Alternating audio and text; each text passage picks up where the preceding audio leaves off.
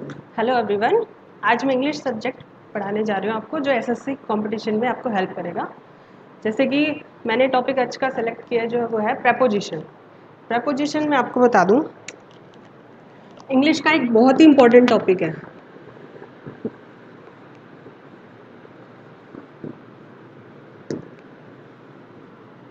Preposition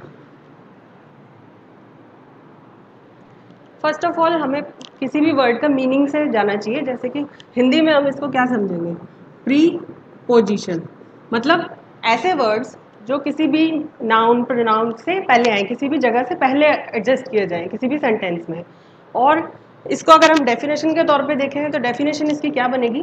कि जैसे कि किसी भी सेंटेंस में हमें रिलेशन के रिलेशनशिप बनाने के लिए यूज़ करते हैं प्रपोजिशन किसी भी वर्ड्स की रिलेशन बनाने के लिए यूज़ करते हैं प्रपोजिशन को।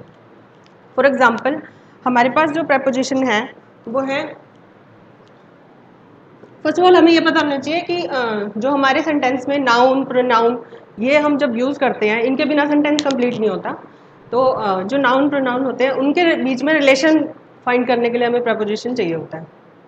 तो नाउन हमें पता होना चाहिए नाउन क्या होता है। हम सबने पढ़ा ही है कि जो नाउन होता है, उसे क्या बोलते हैं? संज्ञा। हिंदी में हम उसे क्या बोल सकते हैं? संज्ञा। और एक चीज़ होती है प्रोनाउन ये बेसिक्स हैं हमारी इंग्लिश लैंग्वेज के।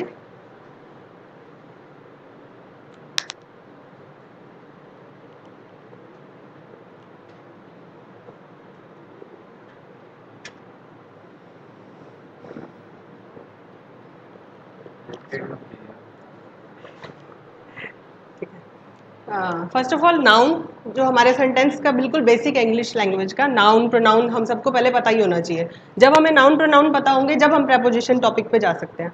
नाउन क्या होती है? हिंदी में हम उसे क्या कहते हैं? संज्ञा। प्रोनाउन क्या होती है? हम हिंदी में उसे कह सकते हैं सर्वनाम इसका मतलब ये होता है। नाउन अगर हम डिफाइन करें, क्या होएगा? किसी भी पर्सन प्लेस या थिंग को हम जो नाम लेते हैं वो क्या होती है? नाउन उसे हम संज्ञा बोलते हैं। किसी भी, किसी पर्सन का नेम हो गया प्लेस का नेम हो गया, किसी थिंग का नेम हो गया, कोई चीज़। जैसे कि फॉर एग्जांपल मैं बताऊँ। राम, श्याम। ये सब किसके एग्ज़ाम्पल हैं? किसी पर्सन के नेम के बारे में बात हो रही है यहाँ। और जैसे कि प्लेस के बारे में बताऊँ। मुंबई, दिल्ली एक्सेट्रा ये क्या हो गए किसी भी प्लेस के नाम, जो कि हम नाउन में कंसीडर कर सकते हैं। नाउन होती है ये, ठीक है? थिंग्स थिंग्स जैसे कि कुछ भी हो सकती है। चेयर टेबल एक्सेट्रा तो इन सब के जब हम किसी सेंटेंस में यूज़ करते हैं इसका रिलेशन फाइंड करना होता है किसी भी प्रोनाउन के साथ सेंटेंस में, तब हमें प्रपोजिशंस की ज़रूरत पड़ती है। प्रपोजिशंस क्या होती हैं?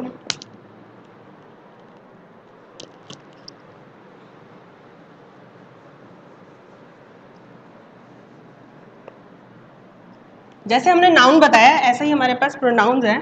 प्रोनाउन क्या होते हैं? सर्वनाम जो संज्ञा की जगह पर यूज़ किए जाएँ। ऐसे वर्ड्स जो संज्ञा की जगह कभी हम, ज़रूरी नहीं होता किसी सेंटेंस में हम नाम को ही लें। कभी हम ये भी कह देते हैं कि उसने ये काम किया। वह खाता है, वह वहाँ जाता है। हम उस नाम की जगह हम ये वर्ड्स भी यूज़ करते हैं। तो इसका मतलब क्या है? उसको हमने संज्ञा की जगह यूज़ किया, वो प्रोनाउन हो गए।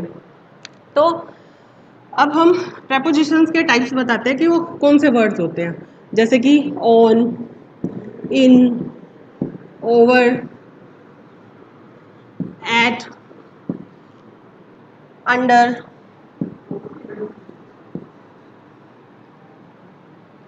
etcetera and many more ये एग्जाम्पल्स क्या है? प्रेपोजिशन के। किसी भी सेंटेंस में हमें प्रेपोजिशंस यूज़ कैसे करनी होती है? फ़र्स्ट ऑफ़ ऑल जब हम यूजेस ऑफ़ ऑन बताएँ, क्या होगा इसमें? Ram is sitting on the chair let me explain इसमें हमने सिंपल सा एग्जांपल लिया है कि कि राम जो है, वो चेयर के ऊपर बैठा हुआ है। जब हम किसी भी चीज़ का ऑन का यूज़ कब कब किया जाएगा? जब हम किसी भी चीज़ को किसी सरफेस पे, जैसे वो पड़ा हुआ है, जैसे हमने अब हाथ में मार्कर लिया हुआ है। तो हाथ पे जैसे हमने इसको, यूँ रख लिया, मान लो। तो मैं क्या कहूँगी? The marker is lying on my hand मतलब हाथ के ऊपर, वो सरफेस पे रखी हुई है कोई चीज़। ऐसे ही राम क्या है चेयर के ऊपर बैठा हुआ है मतलब किसी सरफेस पे वो बैठा हुआ है। तो ऐसी कंडीशन में हमें ऑन का यूज़ करना पड़ेगा। अब आगे इनके बारे में यूज़ करें जब हम। जैसे कि the milk is lying in the fridge जैसे कि हमने ये कहा कि जो दूध है, वो फ्रिज में रखा हुआ है। फ्रिज के अंदर रखा हुआ है। जब अंदर की बात हुई तो क्या हुआ? इन प्रपोजिशन का यूज़ किया हमने। हम इनको थोड़ा सा हाईलाइट कर देंगे ताकि आपको इजीली क्लियर हो जाए।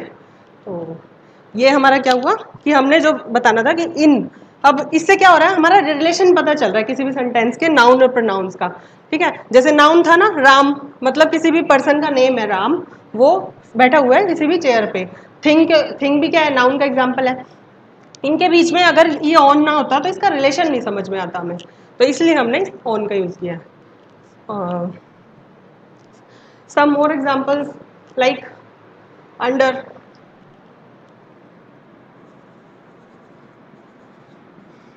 a cat is sitting